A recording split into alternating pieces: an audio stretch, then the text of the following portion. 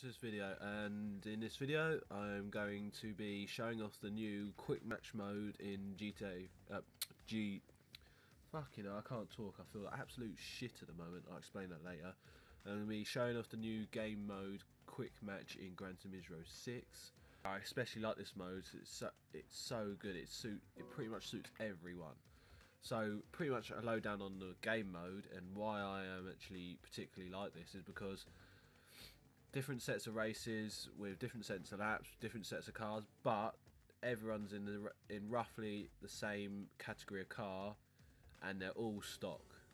So you, everyone has got the set the, the same amount of um, advantage. So no one's got like extremely fast cars and some have got extremely slow cars. You're all on a level playing ground, if you get what I'm saying. I'm gonna go for the Tsukuba um, sports car, whatever the fuck it was. This one, I have been doing a couple of times because obviously this is the one that took my fancy, and I think they changed because uh, when the update came out, there was a few different ones. I think there was a, there was a small car one which is gone. Um, uh, but I did have a go the, with the Honda NSX, and then I had a go with the Nissan Skyline. But in all fairness, I would take I would take the Honda NSX over the um, over the Skyline. I know it's slower, but it's just a lot nicer and better to race. Alright, so we're on this game mode. Um, this wasn't going to really be a, a, video where I shaft game mode, but I might as well as at the moment. So what you do is you get put in this mode here as you are now. Um, and then I think you either wait till you get put into a game with people, random people, so you don't choose what game, as, as it is now, yeah. Matchmaking complete, waiting for other players, so it's put you in a game. So then once you're in a game, you can go up into warm-up mode, which is you can just cruise around the track, practice before the race starts. With this over open lobbies, um, the difference is the person that's the owner of the lobby doesn't start the race. The game automatically just starts the race, and you have a certain amount of time to practice before the race starts. Then, you know, the race starts. So yeah, as you can see, the race starts in 145 seconds and it's counting down. And until then, you can click warm-up mode and you can just race around the track uh, to have a warm-up, as it says.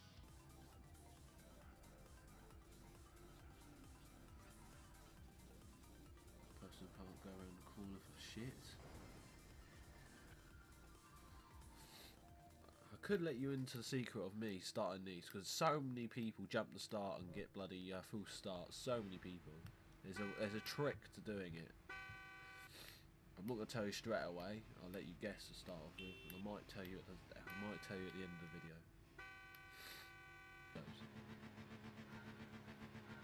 Here we go. There we go, as you can see that person did a full start and I did not do a full start because I know a trick in doing it.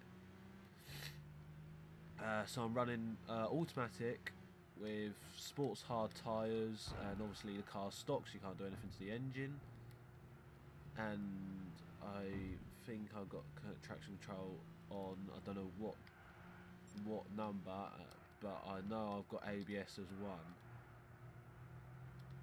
and no, you don't have to have traction control way off and ABS off because this ain't nothing serious. It's just a nice public match where you're all on par.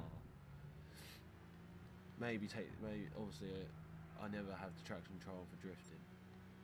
Fucking hell, my friend the other day told me he drifts in automatic in a tank car, and he was actually getting decent scores on to on this track Tsukuba. I was like, when he said he drifted in fucking automatic, I was like, what the fuck? How the fuck can you drift on automatic?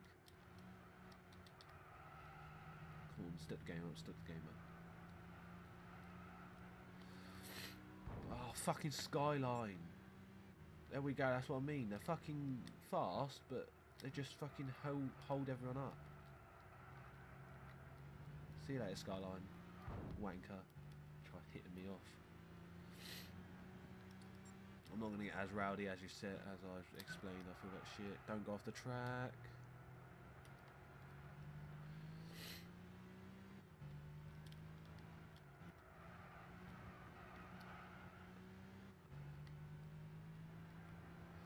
Come on, let's get past this Lancer.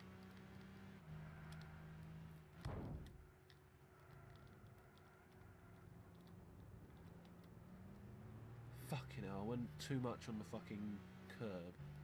Slowed myself down. Leaving the Lancer able to go past me. Wow. Look at the skids like. Alright, let's make this lap let's make this lap worth it.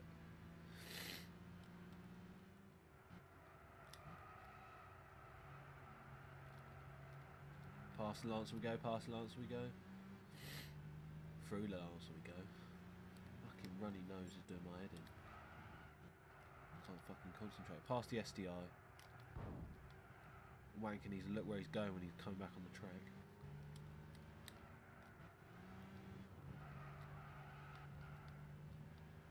Come on, let's at least get past this fucking Australian in the fucking STI.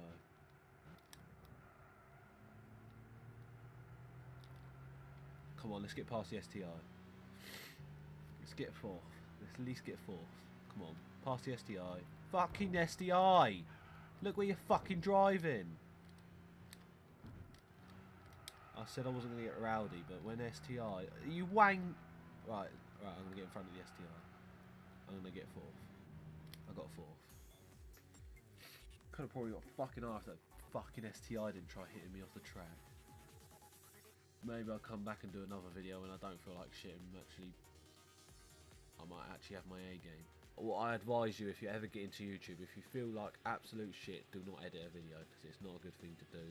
You cannot concentrate at all when editing a video.